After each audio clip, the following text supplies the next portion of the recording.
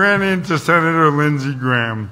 He was there speaking to a bank of cameras about his beloved friend John McCain, who, like me, is dying of a brain disease, who is struggling to live.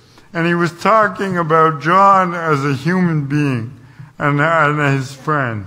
And I rolled up to him along with Megan Anderson, who's almost paralyzed, and we said, Senator Graham, could we speak with you for a moment? And he ran away. There is video of it, NBC, all of you were there. And that moment for me eh, was emblematic of the entire disaster of this bill. Instead of listening to American people, they are running away from us. Lindsey Graham, the great senator from the state of South Carolina, was afraid of two civilians in wheelchairs who wanted to talk to him about legislation in front of his body. What am I going to do? Beat him up? What is he so afraid of? What are these senators and representatives so afraid of? They're afraid of seeing us as human beings.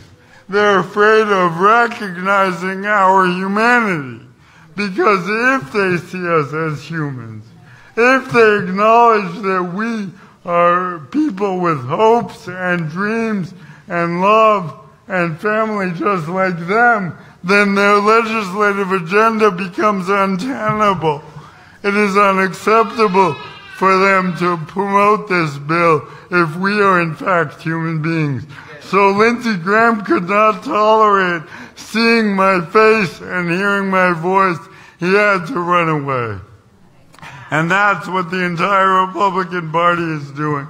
It is running away from the American people because it has removed humanity from its vision of American government. So I will close with this to the American people. This is our government. This is our democracy. There is only one way to combat the money of K Street and the money that is driving this train towards such an unjust and inhumane and blind piece of legislation. The only way to defeat this is if the American people rise up and we elevate our voices. And we say this is our government, this is our Congress, this is our democracy, and we reject the politics of human oppression. We reject the politics of ignoring um, the American people, and we insist on a government that represents us.